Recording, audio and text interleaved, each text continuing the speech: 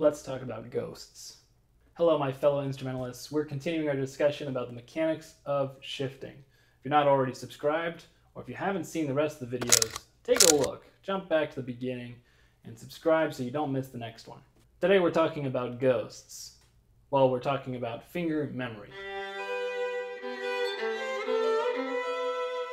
We've all heard about muscle memory, the unconscious ability to sink a free throw shot or respond to a boxer's punch.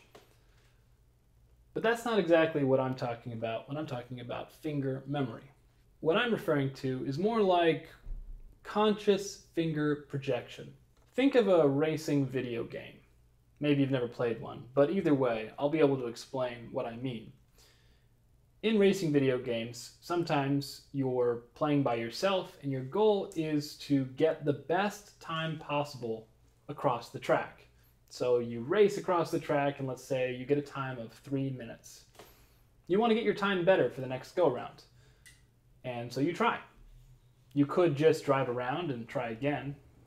Or, in some video games, they give you what is considered like a shadow driver. And it'll be essentially a documentation of your previous go around.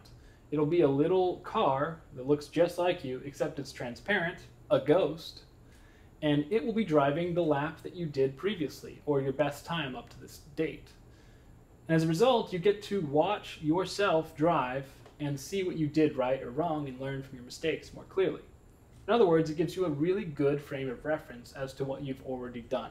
Whenever we shift, again, we have no frame of reference from the box itself, aside from where the F-holes are and where the body of the instrument is, where the pegs are we don't have any frets specifically. So to give ourselves a concept of distance, we can use what I like to call ghosts. And so we use this conscious finger projection, where we try to instill in our memory and actually project the idea of where a current finger is so that we can reference it when we shift. So we'll take the example we've been using recently, which is going from first position in the A string to third position on the A string, and we'll be in the key of G major for now. Let's say we wanted to go from a B natural on the A string to a D natural on the A string.